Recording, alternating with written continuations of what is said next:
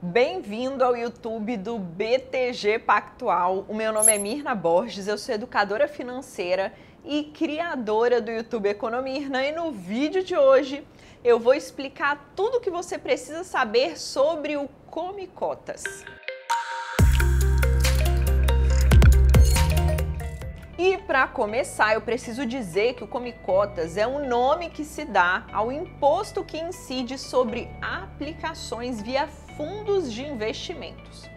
Trata-se de uma antecipação ao recolhimento do imposto de renda em determinados fundos e ocorre a cada seis meses, no último dia útil de maio e no último dia útil de novembro.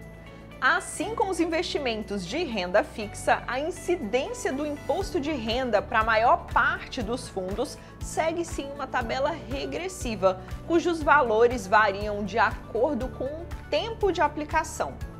Para os fundos de curto prazo, a incidência do imposto varia de 22,5% a 20%.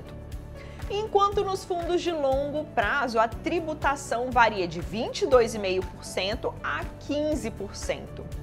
A cada semestre é realizada uma redução no número de cotas do investidor, por isso o nome Come Cotas. Essa redução é equivalente ao percentual mínimo de imposto devido sobre os rendimentos da aplicação.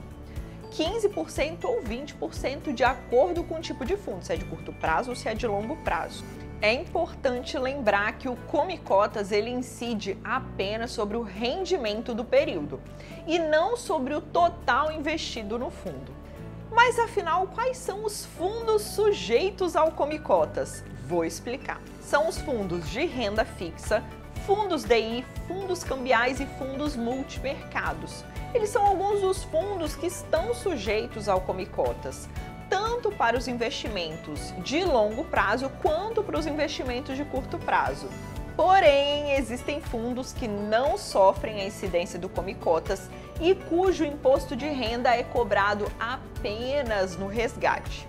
Este é o caso dos fundos de ações e dos fundos de previdência privada.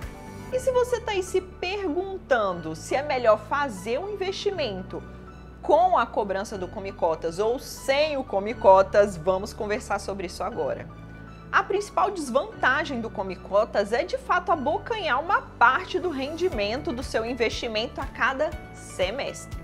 Então a dúvida sobre essa questão, que é ter um investimento com a cobrança do Come Cotas, como por exemplo um fundo de renda fixa, e um outro sem o Come Cotas, como por exemplo um CDB, se ambos tiverem a mesma rentabilidade, o investimento que não tem o come cotas vai ser sim mais rentável. Porém, eu preciso dizer que esse efeito do come cotas ele pode ser sim neutralizado, porque os ativos de renda fixa eles vencem e terão a incidência do imposto de renda e ao reaplicar esse dinheiro novamente em um CDB, por exemplo, a tabela de tributação volta a ser regressiva, começando lá em 22,5%, o que não ocorre nos fundos, porque permitem ao investidor ficar com dinheiro lá por tempo indeterminado, sendo que depois de dois anos do aporte feito, a alíquota sempre será mínima de 15%.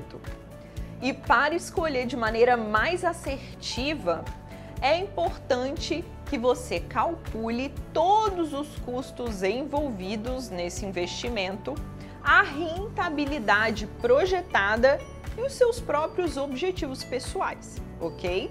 Um abraço e até o próximo vídeo. Tchau, tchau!